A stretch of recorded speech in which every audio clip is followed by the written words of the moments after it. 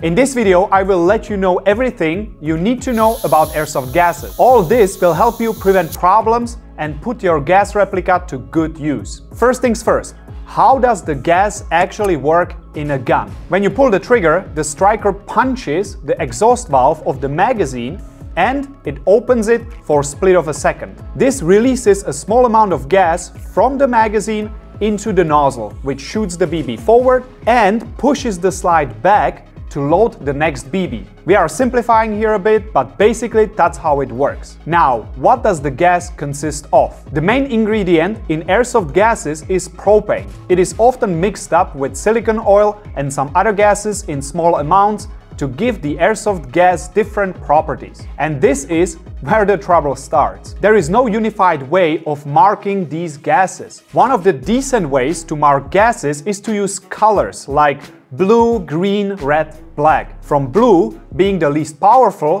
to high pressure black gas. If you are a seasoned airsoft player, you probably know this. But if you are new, it can already be quite confusing. But wait, it gets worse. You can find gases like ultra air, power air gas, two times green gas, and so on. Like, what the actual and to make matters worse, if you take two green gases from two different brands, they will very likely perform differently. Now, what should we as regular airsofters do to make sense all of this mess? Despite all these fancy branded gases, it's really up to two things you should care about with gas.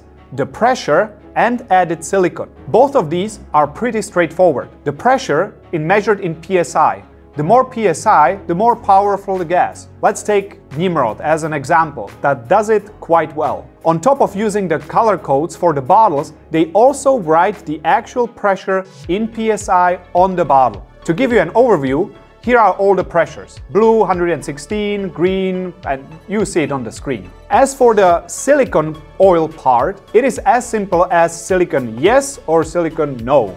The oil in the gas is meant to slightly lubricate the O-rings, valves and insides of the replica with each shot. That sounds great on paper, eliminating maintenance to some degree. It is not that simple. While it is true that these parts need lubrication, the gas will eventually go through your hop-up chamber and barrel while propelling the BB. And as you might know, getting too much oil or grease on the hop-up bucking can ruin your accuracy and range. In terms, that means cleaning your barrel more often, which to me sounds like more maintenance. Personally, I prefer my gas without the silicon oil because I can do the maintenance myself, allowing me to better control where the oil gets. Yet it seems like the majority of gases sold on the internet do contain the oil, so make sure to clean your gun often enough anyway. But why do we need so many types of gases? That's because gas is affected by the temperature outside. A weaker gas, let's say blue or green, will stop working when it gets colder outside because the lower the temperature, the less pressure you have inside of any gas bottle. To illustrate, playing with black gas at 5 degrees Celsius can give you roughly similar results as if you'd play with green gas at 20 degrees Celsius. But there is a limit to what you can do by changing the gas. Naturally, now you are thinking that this could be a good way of making the gun stronger. Well, yes and no. If you switch from green gas to red gas, you will probably get more power. But it can also make your gun stop working or even damage it. Now why?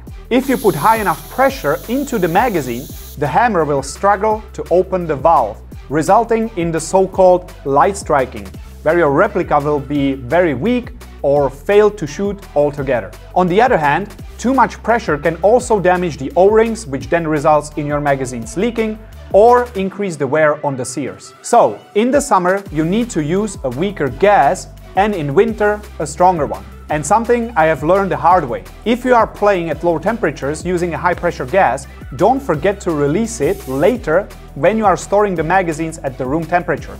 Otherwise, the pressure will increase in your magazines, which can ruin the O-rings inside, resulting in leaks later. Now, which gas do you need for your replica? There are differences between guns and they don't always use the same gas for the same temperature. For example, when they have a heavier slides, you will need a stronger gas to avoid malfunctions such as light striking, feeding issues, or just inconsistent shots. Furthermore, it also depends on the temperature of the location where you will be playing. Generally, you should check which gas type the manufacturer recommends for specific temperature ranges. For example, on the Novritsch website, you can find the gas and BB weight recommendations for every single gun on the respective product pages. Now, this is what the official script says that our editor wrote, but since I know it wasn't that helpful, here is what I do when packing for an airsoft game. If it's warm in the summer, I take green gas and red gas. If it's cold outside, I take red and black. When I go to the field, I try the weaker one. If it works, I keep using it. If not, I step it up with the stronger one. And no, I never use blue gas. And if it's very cold, I take HPA instead because even black gas stops working if it's cold enough. Can you change the power by using a different gas? Yeah, kinda. In the real world, there is usually a bit of wiggle room on the gas you choose. For example, if you take a pistol with which you are recommended to use green gas below 17 degrees, there is nothing really stopping you from using it at 20 degrees. Doing so will give your gun more power. Just make sure not to use black gas in the summer. And keep in mind that making your gun more powerful this way will put more stress on the internals. Pro tip now. If you are having trouble increasing your power output, try a weaker gas. I know it sounds weird, but remember how I talked about valves and that if you have too much pressure in the magazine, the hammer won't be able to fully open the valve and release the gas? That's exactly the reason why sometimes when troubleshooting an issue, you should try to step down to a weaker gas and see what the chrono tells you. A good example would be from red gas to green gas in the summer or from black to red in winter. You might actually get more power if the temperature happens to be at the edge of what is recommended. What happens inside of the magazine?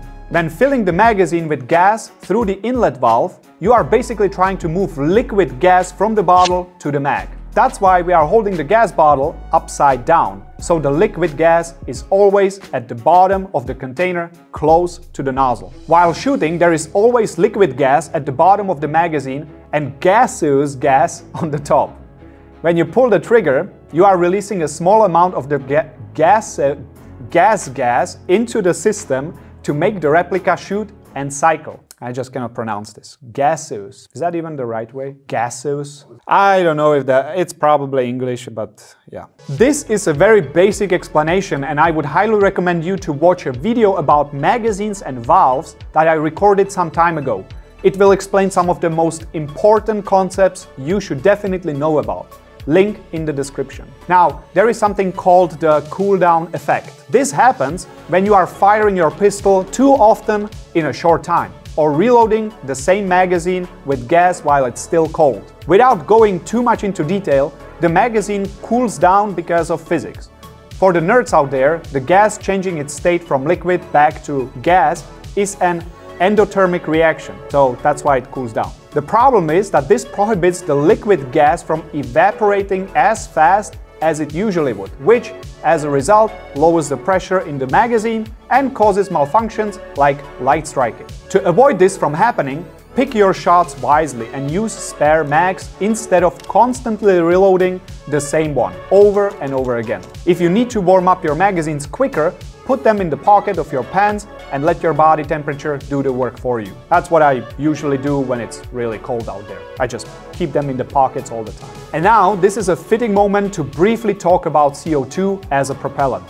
CO2 is very powerful. Actually, it has around 850 psi, which is about 8 times more powerful than blue gas and 4 times more powerful than black gas, the most powerful one. That makes it less affected by low temperatures and delivers a strong recoil, which many players want because it feels more realistic and can be more reliable than gas. However, you need a different valve in your magazine to compensate for the higher pressure and you should only use CO2 in colder environments because otherwise it puts too much stress on the gun. Generally speaking, if you use CO2 in the summer, it will inevitably increase the wear and tear on your internals. In the end, you should always make sure that your gun is meant to run CO2 before using it. And that's been it for this video. I hope it helped you to get a clearer pictures on all the different gases and what's broken about them. And yeah, I will see you in the next one.